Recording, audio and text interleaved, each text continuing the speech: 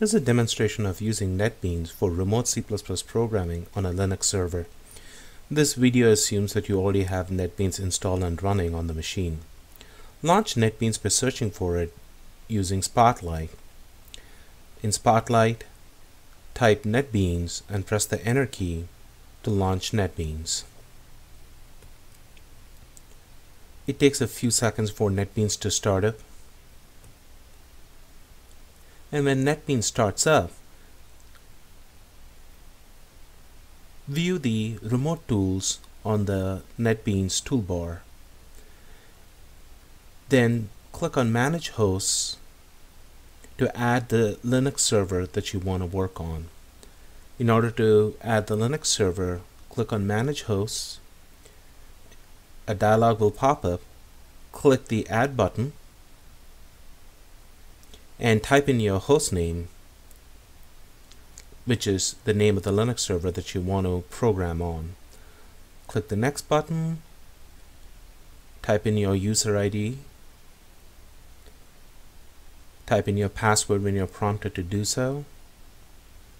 And now NetBeans will connect to the remote server and configure it.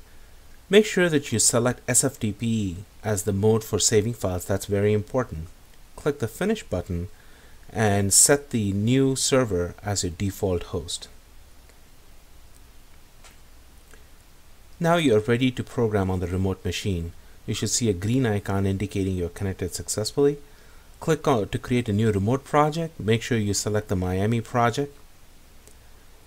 You give your project a name. Typically you'll name it uh, the name of the exercise or homework you're working on.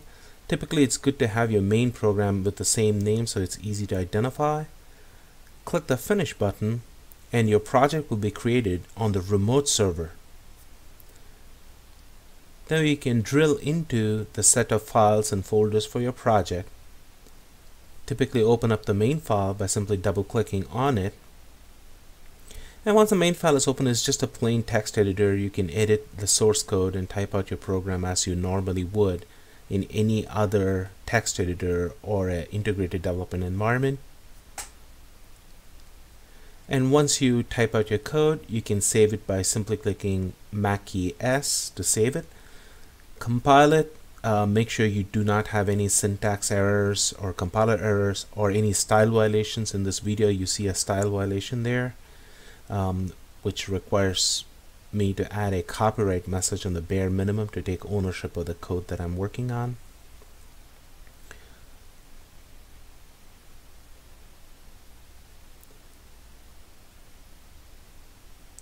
Get rid of any extraneous comments that might be part of the template.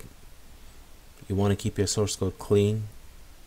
Now clicking the run button will compile the program and run it on the remote server.